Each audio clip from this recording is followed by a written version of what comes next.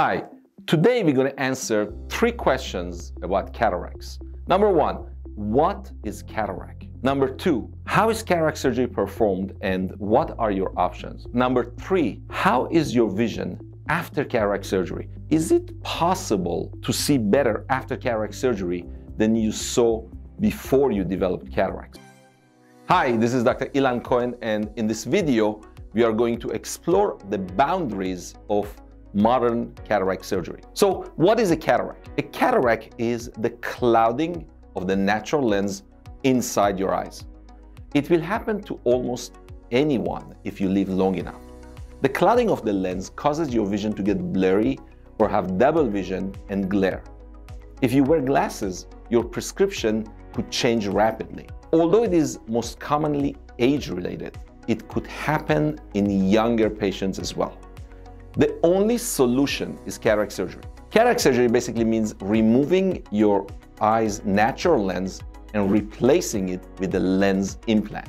This could be done by a traditional method or by using a laser.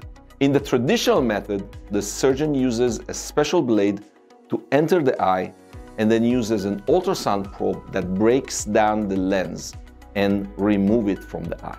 With the laser, the incisions are created by the laser in a more controlled fashion, and the lens is cut by the laser into tiny pieces, which are then gently removed from the eye. In either case, a lens implant is then inserted to replace your cloudy lens. Before I answer the last question, please click the subscribe button below so you don't miss out on my upcoming videos. In the next video, I'm comparing the safety of traditional versus laser cataract surgery. Now I'm going to answer that last question. How is your vision after cataract surgery? This depends largely on the implant type used. Today, new lens implants offer the benefit of restoring your youthful vision. Remember needing reading glasses or bifocals after the age of 40? Now we can fix that problem with cataract surgery. That means that you could see both near and distance without any glasses, even if you were nearsighted, farsighted, or had astigmatism, and no matter how old you are. Of course, the results could vary based on many factors your unique eyes, your surgeon's skill and experience, and the specific technology used. Also, the presence of some types of eye diseases could limit the final vision.